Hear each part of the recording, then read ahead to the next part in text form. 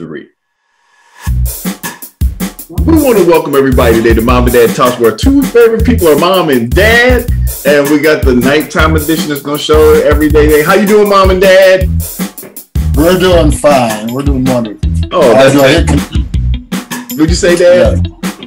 Nothing. I'm gonna hit continue. Okay, so what we're going to talk about today is is, is this weekend. Um, the Joe Biden has a made Juneteenth. The, the, the Congress and everybody else signed Juneteenth as a national holiday.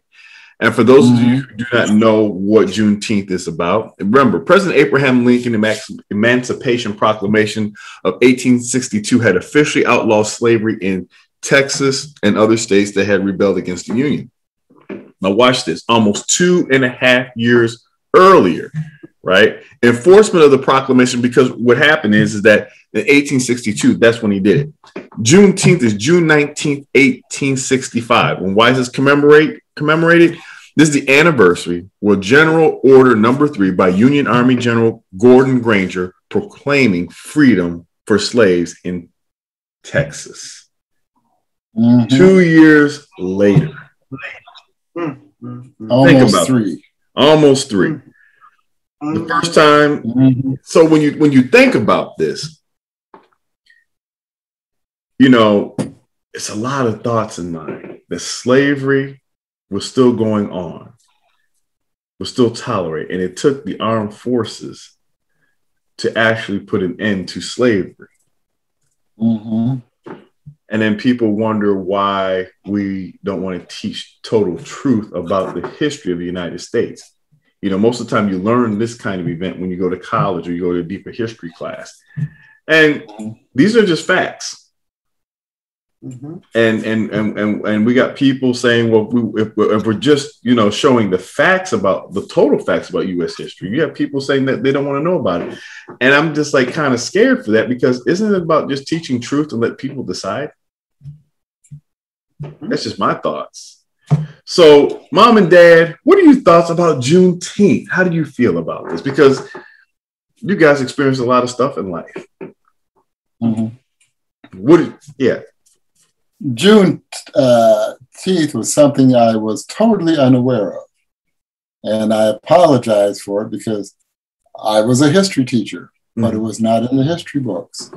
And once I became aware of it, I was totally, totally disgusted with people that didn't let us free, let us be free when we were actually freed by a presidential uh, proclamation mm-hmm. and we were still in slavery. And that is what really got me. But I was really um, impressed with Joe Biden when he signed and made it an official holiday yeah without question. And not only that, but the 94 year old woman that had been working on it for years, Mhm. walking from Texas to Washington, D.C., and, and uh, getting, her, uh, getting people to sign a petition, how he not only congratulated her, but as the President of the United States, he got down on his knees and kneeled to her and thanked her for what she has done for the United States. And that's the thing that really impressed me Mhm. that he thanked her for bringing about this uh, hidden part of history that, how do you say it? Uh, people are just totally unaware of. They never knew it actually existed. And uh, hopefully, some of our white counterparts will realize that there's much more about slavery that they don't know right and hopefully they will learn more about it. And and and what really gets me is there's a lot of white counterparts who are saying that slavery was the best thing for black people. That is totally, totally uh, ignorant. it, it, it, it- it's it's totally fascinating to me, Dad, because Mhm. um, and I'm gonna have moms talk in just a second here. That that I told one of my friends, if slavery was such a good idea, you know I'm a Christian, you know I'll treat you right. Why don't you be my slave? Because you know I'm going to treat you right, and think about that. Mhm. And that we never had another conversation about that foolishness again. Mhm. And um, you know, I, I I I- I just bring it out that you know what, no one should treat people like that. There's That's a reason why we had a civil war over it. Mom, what do you think about Juneteenth? I think it's a very good idea. As I think back of what the, they were reporting on the last holiday that was voted on, it was by um, uh, Ronald Reagan, who um, voted in Martin Luther King Day, and that was in, way back in 1983. Mm-hmm. And I think that it's it's sad that it took this long from 1983 up to 2021, almost 40 years later, to honor this date of Juneteenth. And I am very happy that President Biden acknowledged the fact that it will be honored as a holiday. And my prayer is that anything else that is honored for in, in the in, in anything else that is honored in, in Black or uh, Afro American heritage, I'm hoping that it won't be another 30 years before they find something else that we can honor a day, have a holiday on the calendar for that. Yes, if, if we can honor honor Christopher Columbus, mm-hmm. who actually came over and enslaved the Native Americans mm-hmm. and killed them Native Americans just to find, and, and a lot of the earlier explorers that were finding out that uh, they weren't as honorable as we thought they were. Mm-hmm. If they can honor those people, then it's about time that we get Juneteenth, is it? Mm-hmm. Juneteenth. On the books. Mm-hmm. And to honor, how do you say it? The freedom of slavery. And they finally let us free. Yes. I realize that, that in the United States of America, the richest uh, country in the world, mm-hmm.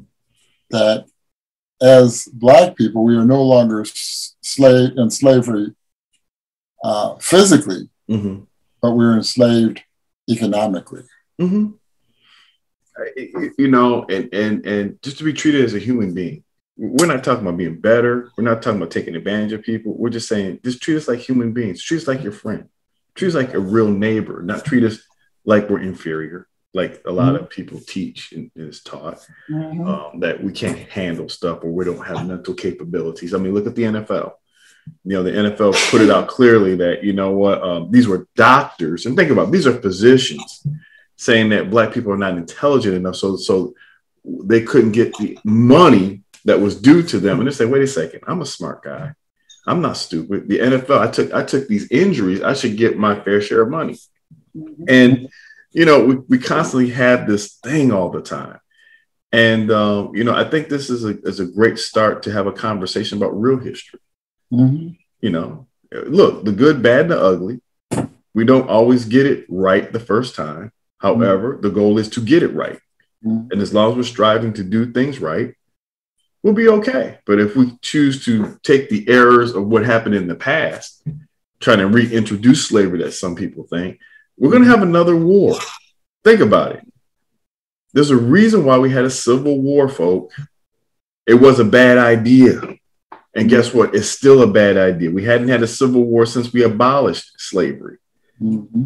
So, you know, what do you want to say, Mom? It, it just saddens me that uh, it's the skin color that has held us in captivity all these years. Mm-hmm. And why the color of the skin makes a difference in the way you have freedom or you don't have freedom. It's just it's just disappointing to know that we are judged. We have been judged all these years just because we are a different shade of the majority than the majority of people in this world or country or whatever. So and, as a public school teacher, especially a history teacher, and I'm just a lonely retired teacher, mm-hmm. I feel that Black history should be back in the curriculum. Mm-hmm. Should bring it back in the curriculum. Uh, it was going strong in the 70s and the 80s, and then uh, it dropped. Mm-hmm. It dropped out. And a lot of people are not aware, black and white, mm-hmm. as to what our true history really was all about. And like I said, you're doomed to repeat history if you don't learn from it. That's correct. That's why you study history. What you say, Mom? We think of the inventions, inventors that mm-hmm. invented things that we needed in this country that have been probably wiped out of history books or mm-hmm. not brought mm-hmm. to the mm-hmm. attention of the now generation that need to know that everybody has something to contribute to this world that wants to make, you know, to, mm-hmm. to introduce something. And our Black people have been put on the back burner of things that they have invented and they haven't been, you know, put, put out there to, for everybody to really take hold of. Mm-hmm. you know, we, have invented a lot of stuff for this country that people are not aware of, like the filament in the light bulb. You know, I can stoplight. Yeah, stoplight. Oh, and, you know, and I went to the, the and I love the fact that they had the African American Museum uh, mm-hmm. in Washington D.C. But there's one floor that's missing from there that I wish they would would do, and that is all the inventions of what we contribute to the world, mm-hmm. created by African American hands that we have contributed because a lot of people think that we're freeloaders. We don't contribute anything. And that's horrible that because they're ignorant of the facts right. and they want to stay ignorant of the facts to keep a system in place that's not helping that could make a better world for all of us. Right. Yeah, a friend of ours uh, we were discussing, and uh, when I made mention that uh, uh black people actually built the White House, mm-hmm. his reaction was, "Well, I have to look that up. Mm-hmm. I have to look that up. They, in other words, I don't believe that. Right. And so when they're aware that, you know, we, the Red Cross and the blood bank and, mm-hmm. and uh, uh, uh, the real McCoy, mm-hmm. the monkey. Elijah McCoy. Yeah. Yes. Uh, the gas mask. The gas mask. And, and uh, now they're even thinking about the cotton gin. Mm-hmm you know, I, I just think it's just sad. I think it's kind of funny that the fact is, is that, you know, when you teach real history and we're all included in it, you get a different perspective on how you view people, that everybody's capable of doing something great given an opportunity and a fair opportunity. Mm-hmm. And I think that, you know, that's what should be taught. Like I said, you know, um, I work with all kinds of races, all kinds of people, and we always excel because I never looked at their race, never looked at their gender, never looked at whether they were gay or lesbian. I said, "This is what we need to do. This is the bar," and they've always exceeded. And I'll challenge anybody: you give me an opportunity to run your company, I'm telling you, it's going to be run great. Mm-hmm. But that's for another time for another session here. But I, I, think this is a very thoughtful thing. You guys want to say anything before we we cut tonight? So, um, or, or everybody's going to see the next day. But anyway, t- the, I, I, I, just think all superintendents should really look into putting Black history back into our curriculum, mm-hmm. not only for the benefits of Blacks, but whites, Asians, uh, Hispanics. Uh, well, expanded to more than Black history now. Right. Because now we're finding out that other minorities mm-hmm. Are treated horribly, mm-hmm. just horribly, simply because of their race, and that's that's not right. I don't think that's what the Lord has in, in store for the United States of America. Last thoughts, Mom, before we close out. Well, we want to welcome and thank everybody for joining the Mom and Dad Touch for a thoughtful conversation on Juneteenth. And I hope you enjoyed this day and I hope you have a chance to really look at history especially this gives you a chance to really understand why it exists. Be thoughtful, be open minded to understand truth rather than lies so that you can be a better person. So, welcome to Mom and Dad Talk. I hope y'all enjoyed it. Till next week, we'll talk to you later and have a great one. Bye. Happy Juneteenth. Happy Juneteenth, everyone.